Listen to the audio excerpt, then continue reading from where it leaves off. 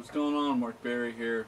Uh, recently, not recently, but a while ago, I got a matte box with a rig and basically just, you know, once you get one of these, they're addicting. You just want to keep adding to it and everything. But one thing I got uh, that came with it was um, one of these. Let's try this again. One thing I got with my rig is these handle brackets here, and you know it's got the handle grips and everything to it. Also, hot shoe up here and a hot shoe right here, so you can, you know, put a monitor there or light or you know whatever you want. Let's say you're wanting to put these on your rig. They're cool because they have, you know, they can screw into each other, which is, you know, kind of nice. But, you know, when you do that, I mean, as you can see, they're uneven.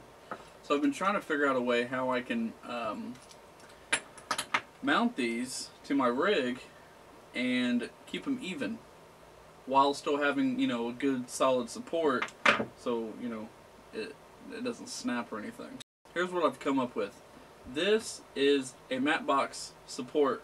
You know, you put these through the rods here and you screw your matte box onto this. Now, I have another one, it's a riser you know, and, and you can do the level of the matte box.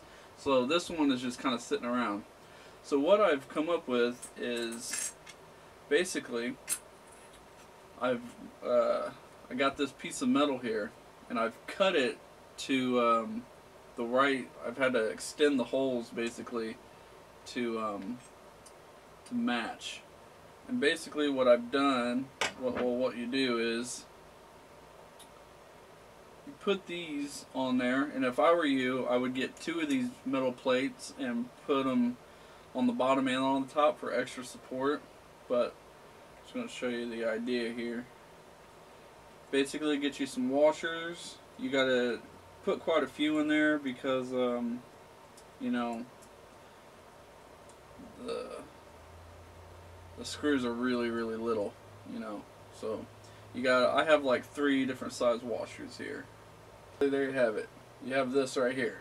and it's even and everything. So, what I've done, well, here's what I do. Take this, take your matte box off. Pretty simple. And all you have to do is just slide. Um, you gotta loosen this up first. And then all you do is just slide um, this onto your rig here. All the way back.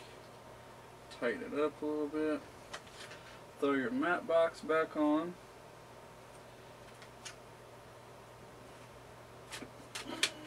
Tighten that up. And now you have handles. Now I don't have a shoulder rig, you know, thing right here yet, but you know, you get really, really good um, you can get really sturdy here. Or, let's say you don't want them up here, you're not going to put a microphone up here, you're not going to put a monitor, a light, or anything like that. So, something simple you can do, just take this back off. Loosen this up. Take these off. Flip them upside down them all the way back.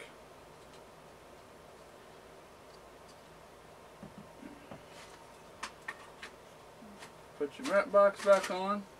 And now you got a rig, you know, with the handles down here now.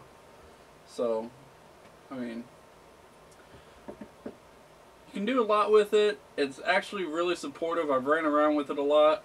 Um, again, get two middle metal pieces for the bottom and the top added support, tighten it down really tight, and uh, there you go. Uh, so uh, that's my small tutorial. Hope uh, it helps anybody else because usually to get handles for your rig it's a couple hundred bucks. So this way you have handles, and if you want to go the other way, you have your hot shoe mounts. So hope this helps. Thanks for watching.